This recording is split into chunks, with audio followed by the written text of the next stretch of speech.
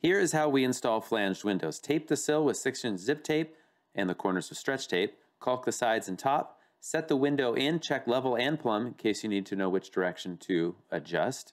Screw it in level. Then check square, not plumb, since that's what the manufacturer says.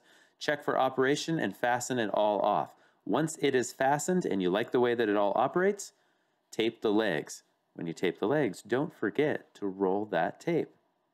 Now, if you're really on your game, oh yeah, and don't forget to tape the head of the window, just like that.